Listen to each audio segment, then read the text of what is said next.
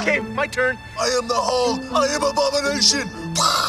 Oh, I'm the Hulk. I'm so sad. I don't know how to defend myself. Hey, what you say? Did you know Americans see 4,000 to 10,000 ads per day? Did you know that number quadruples when on a pirated website? Did you also know that Xbox and PlayStation plan on putting in-game ads too? But they're only for free-to-play games, so I bet things are gonna be just fine. What I'm getting at is ads are everywhere. They seem unescapable nowadays, especially in the US. Like, look at Times Square. That's just one big advertisement circle jerk. We see them in everything we watch, everything we read, every mobile game we play. Like, you can never get past one level on almost every phone game without getting a 30 second ad for another garbage mobile game that I also download because the ad made me play along with it, so now I'm interested. You see how these things be tricking you? They know we getting dumber and dumber by the day because we're on our phones 24-7. But just because I like to scroll through the best TikTok has to offer, doesn't mean I'm completely blind to my surroundings. In recent years, I've been noticing the commercials and ads we see are a lot more vapid almost all of them are either a boring advert telling you how good their product is and just showcasing it, or they try to be trendy with it like this. Are you winning, Cheese? Shut up, Or this. Generating reactions from everyone, like the memer. I love children. It sucks! This supposed to make me buy your product? Make me want to turn off the TV! It's sad that the only good ads we see nowadays are from obscure mobile games. Now those guys know how to sell a product. The only commercials you can look forward to now to be half decent is the Super Bowl ones. And even the ones this year were mid. None of them stood out. Yeah, short of Breaking Bad, Popcorners one was eh, and Mr. Beast was talking about eating his balls or something. But like, I'm not gonna remember those next week. What the hell were these commercials? The only reason I watched the Super Bowl is for the commercials, not for no halftime show. And I didn't even know they play games during it. I watch for the commercials. And for the past few years, there hasn't really been one that I liked. Other than that Larry David one last year, and that was literally from an investment company that steals your money. It's FTX. It's a safe and easy way to get into crypto. Eh, I don't think so. Commercials now are just booty, man. I have no interest in any of them. Like the one that's gonna pop up right now. Watch it. Watch it be booty. Did you watch it? Did it suck? I bet you skipped it too. If you got ad block on, fuck you. What happened to commercials, man? Why can't we go back to the ones in the past? Back in the good old days. Not that far back. I'm talking about the ones back in the 2000s and 90s. Back when ads meant something. Like if you're gonna disrupt me from my regular scheduled programs, at least make it entertaining. And back then, they certainly were. I love the ones that were trying to make you laugh, make you giggle, make your cheeks jiggle, like old Geico ads. With their goofy commercials, they hammered the fact in my brain that 15 minutes could save me 15% or more on car insurance at a young age when I used to think cars were just bigger bikes. I loved how all of them were never serious and each of them were as nutty as the last. Like dogs ain't supposed to talk, bro. That's crazy. My personal favorite ones were the caveman commercials. It's so easy to use Geico.com, a caveman could do it. What? No, I, not cool. I did not know you were there. I can- where cavemen were offended by Geico's ad campaign because it was low-key racist towards cavemen. Can you imagine a commercial making fun of an entire ethnic group's intelligence like, go on Amazon and order today. It's so easy a dog can do it. Okay, the fuck I do to you? And there's multiple commercials showing their reaction to these ads. One of them even go to therapy because of it. This really messes them up. They thought they were past this. They thought they lived in a more progressive society. But sadly, they still have a long way to go. But those commercials were funny. But even though I know I could save 15% or more on car insurance with Geico, I'm more of a progressive guy. But that's only because I had a huge crush on Flo. There are also Jack in the Box ads. Now, I've never eaten there myself, but if this dude's in there, I don't know if I'll feel comfortable going there. This dude seems very erratic. Cause in the ads, this dude got no chill. He even called out Burger King for microwaving their burgers, which he didn't need to tell me that for me to know. But Damn! You don't ever see companies going at each other's throats like this anymore. Unless it's Wendy's. But I still will never forgive them for that commercial. Like Speaking of commercials with no chill, those Pop Tart commercials back then, were insane, bro. Cause every human in these commercials would literally kill every walking, running, breathing Pop Tart in sight. It doesn't matter if they have feelings. It doesn't matter if they have emotions. If you can cook them, they will eat them. Like this one. These Pop Tarts just had a baby, and look what happens. He so has your peanut butter. Well, he's got your jelly. Time for a feeding. Hmm. She just ate their newborn baby. She's crazy. And based on the other commercials and how often this happens, she probably won't go to jail for it. What's with these commercials discriminating against a certain group of people? This needs to be studied and brought to light. Also, also speaking about No Chill, this commercial about you can guess.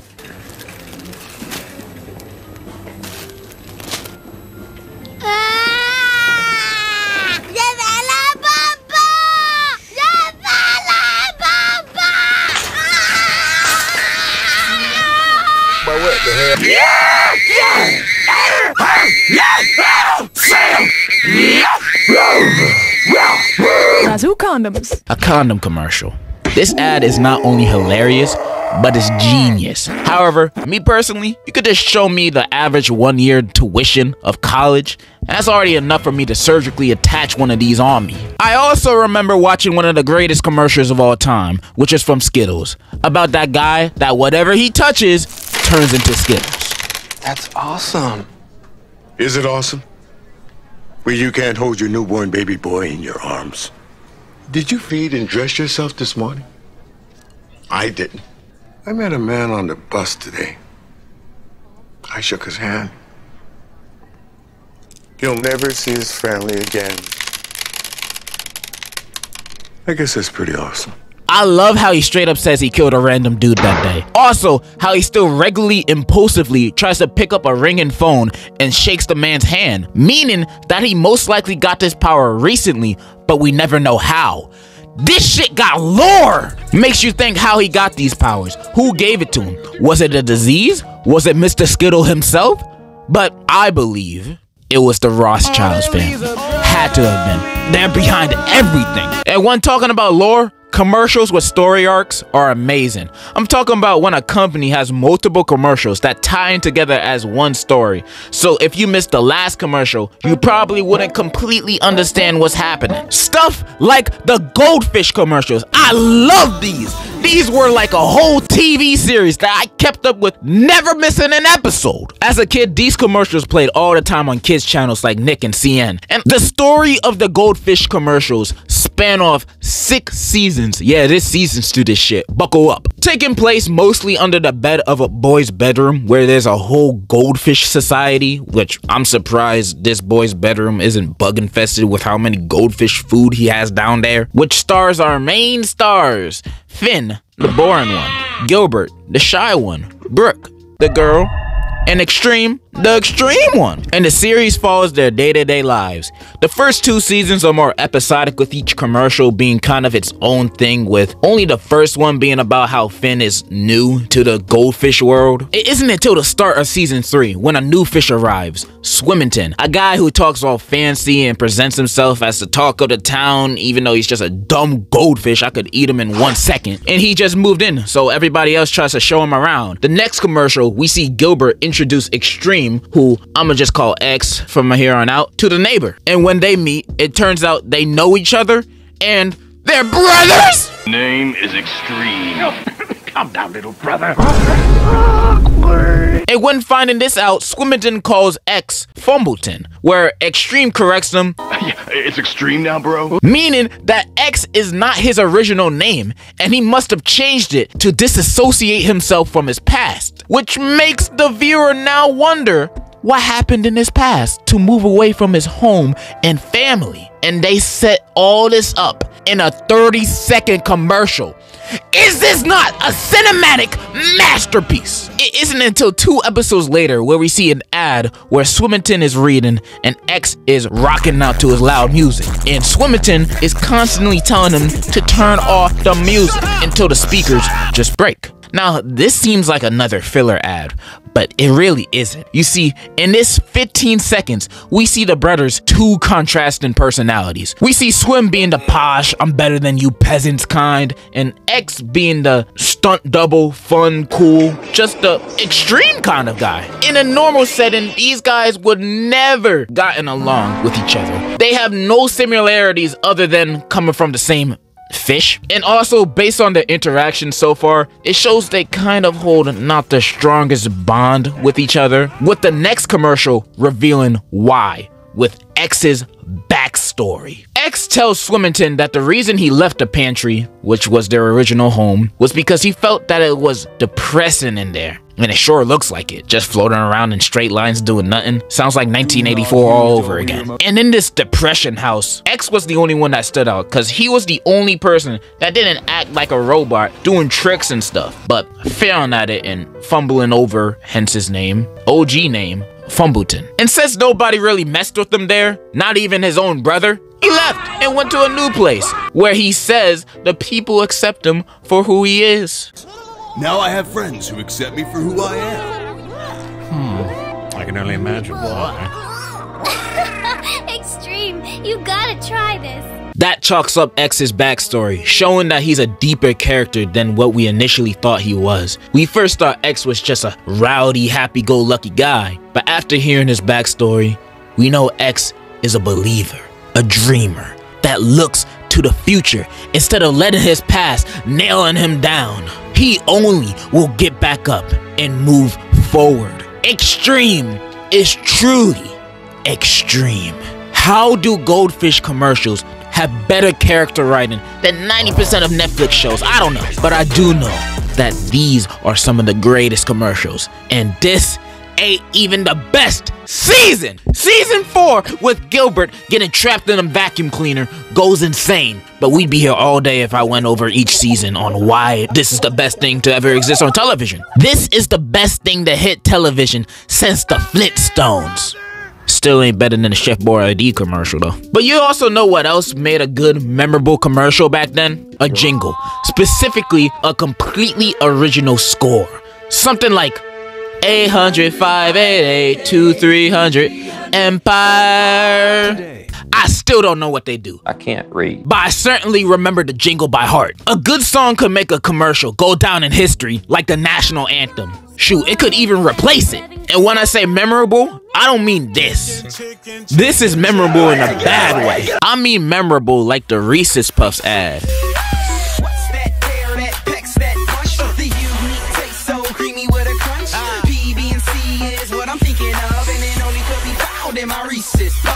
I always loved to rap along with this ad whenever it came on. I'd even say this man's an inspiration to my own musical career. I wanted to be like this dude, man. I love this commercial so much, it had me searching for the dude rapping like he had more music to listen to, as if he was a real rapper. Turns out, he is! He goes by Lupo. And I started listening to his music because, you know, I know him as one of the best rappers to ever touch a bowl of cereal. But then I turned his music on to be shocked on what I seen and heard. In his music vids, there were swearing, drugs, girls. I thought you only rapped about cereal, not this scandalous, abhorrent behavior. These songs got nothing to do with Cocoa Puffs. Outside of that, his music is alright, it's cool, it's listenable. But for me, he peaked with the Reese's Puffs rap.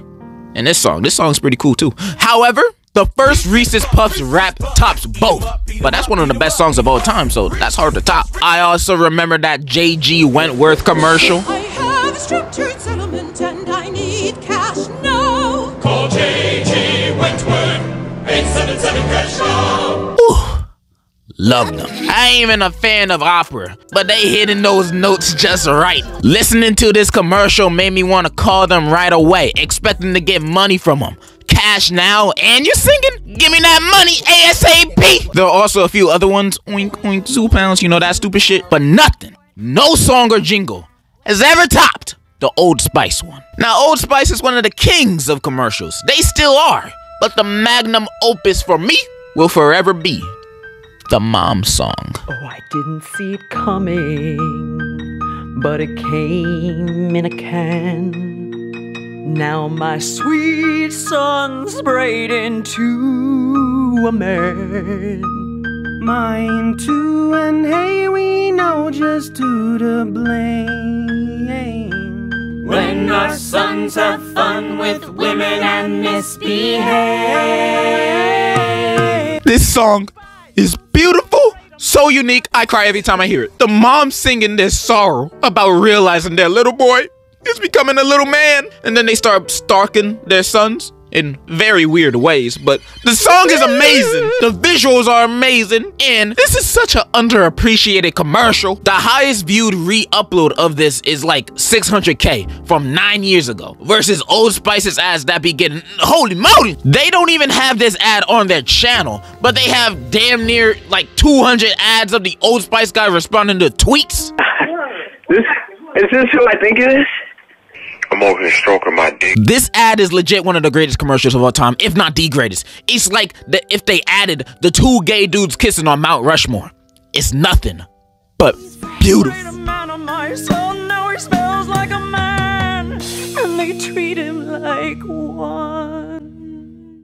I hope that commercials can go back to the comfort and magic they had back then. And even if the companies can't recreate that magic, you can always just replay the old ones for all of eternity. Nobody gonna get mad because these commercials are great. Huh? Like how many years have they been playing that Tootsie Roll Pop commercial? Since 1970. If it ain't broke, don't fix it. They're also a lot more engaging. They make me want to buy the product more. I mean, I still won't buy it, but still. Like when I saw a Red Bull commercial back then, I'm not thinking about drinking this might give me diabetes or kidney failure or getting a heart attack or dying.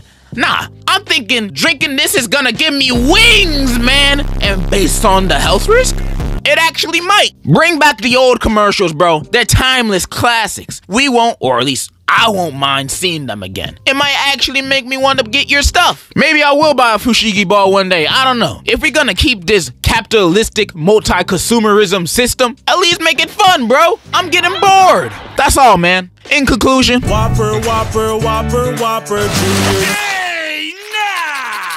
I would never fall in love again until I found her. I said I would never fall.